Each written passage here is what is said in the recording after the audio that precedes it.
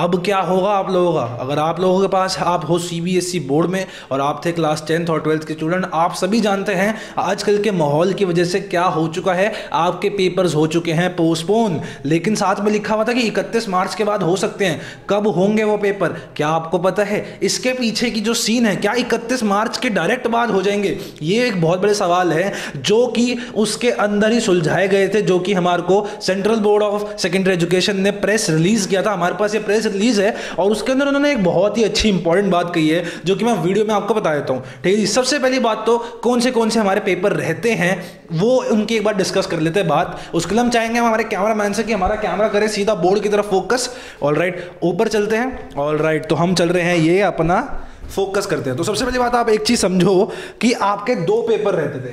Class class tenth की अगर हम बात करें तो आपका 20 तारीख को, यानी 20 मार्च को था आपका कंप्यूटर साइंस का पेपर कंप्यूटर साइंस कह लो आईटी कह लो, एक ही बात है। दूसरा था ट्वेल्थ का। ट्वेल्थ में आप एक चीज़ समझिए कि जिनके पास पीसीबी थी, उनके कंप्लीट हो चुके, कब हो गए थे? 14 मार्च को ही कंप्लीट हो गए थे।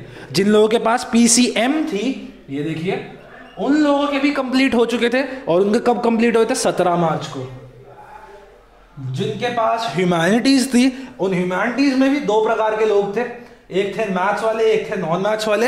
लगभग लगभग सभी ह्यूमैनिटीज वालों का भी 17 मार्च तक हम एज्यूम कर रहे हैं कि उनके पास थी मैथ्स उनके भी पेपर खत्म हो गए थे। बच्चा कौन? बच्चे बेचारे कॉमर्स के स्टूडेंट्स ये रहे हमारे कॉमर्स के स्टूडेंट्स इनका एक पेपर बचा था, आप सभी जानते हैं, वो है बीएसटी का पेपर बीएसटी का पेपर हमारे हिसाब से था 24 मार्च को।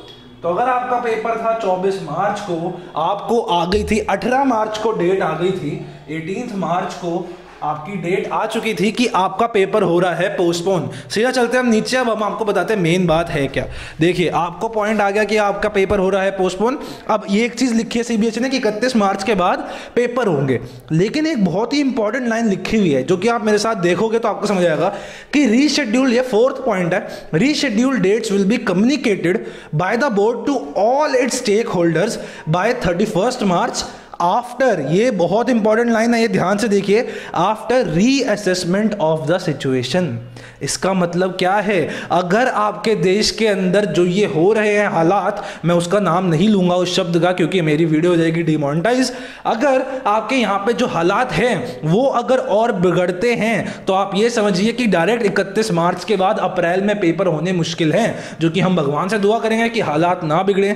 अगर आपके ऐसा होता है तो इकतीस मार्च को हो सकता है सीबीएसई आपको ये बता दीज आर जस्ट स्पेकुलेशन ये आपको याद रखनी है बात। This is just informative video ये हम बता नहीं रहे कि सीबीएसई ऐसा करेगी। हम कह रहे हैं ऐसी पॉसिबिलिटी है कि आपका जो पेपर है 31 मार्च को जो प्रेस रिलीज़ आएगा, उसमें यह कह सके कि after further assessment of the situation या फिर वो कह सके कि due to the situation we are not holding the actual examination अब इन द अप्रैल मंथ हो सकता है आपके पेपर्स और ज़्यादा डिले हो जाए। तो आपको ये बात समझनी है कि आपके साथ ये हो सकता है कि अगर आपके हालात सही रहे, अगर आपके हालात हो गए स्टेबिलाईज जो कि देखना थोड़ा सा मुश्किल हो रहा है तो उस केसेस में आपका 31 मार्च को डायरेक्ट डेट आ जाएगी। परंतु अगर आपके हालात नहीं हो स्टेबलाइज तो हो सकता है कि आपको एक महीना और तक वेट करना पड़ सकता है। तो ये बहुत बड़ी इंपॉर्टेंट इन्फॉर्मेशन थी जो सभी को जाननी बहुत ज़रूरी है। इसके साथ हम ये वीडियो खत्म करते हैं। अगर आपके वीडियो अच्छे लगे यार प्लीज़ फैलाओ।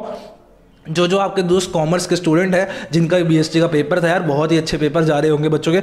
इसके साथ हम ये वीडियो करते खत्म। प्लीज़ मेरे चैनल को सब्सक्राइब कीजिए। और एक चीज़ याद रखिए, ये जो हालात से रिलेटेड वीडियो है, मैं अगेन उसका शब्द का नाम नहीं ले सकता। उनसे कोई भी रिलेटेड वीडियो हमारी मोनिटाइज नहीं होती है। तो ये बस हम आप लोगों की मदद करने के ला रहे हैं। हमारे को कोई लोभ, इसमें कोई लाभ नहीं मिल रहा है। इसके साथ ये वीडियो करते हैं समाप्त। Thank you so much this Sharma. जय हिंद।